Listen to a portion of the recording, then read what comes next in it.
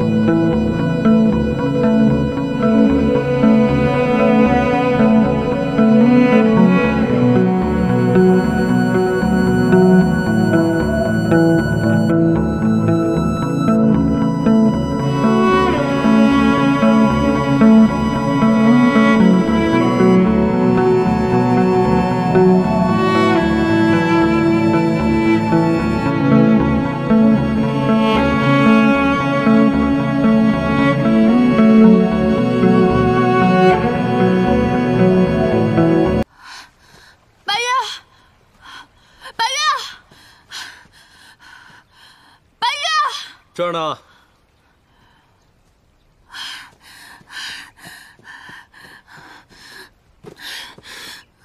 你去哪儿了？为什么不说一声就消失不见？你好了没啊？吓得我魂儿都飞了。又你你你的，都说了叫公子。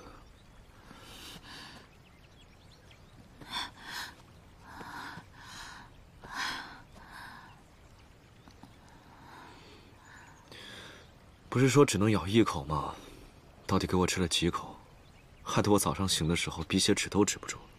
我怕不够就多咬了几口。你放心，我这身肉不是白长的。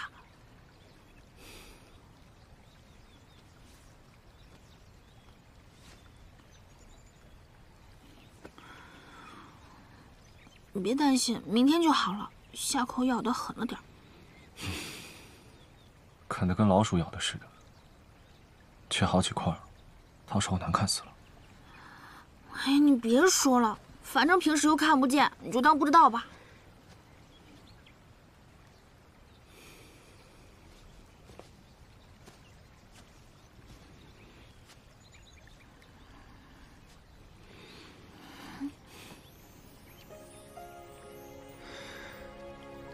其实你不必为我这么做的。我知道你是怕我受到损伤，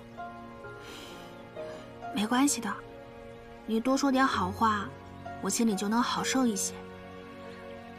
比如，你是从什么时候开始喜欢上我的？喜欢这个词太表面了，我说不出口。没关系。反正我早已习惯了你心口不一，那就什么都不说了吧。反正你已经吃了我的肉，我们融为一体，再也分不开了。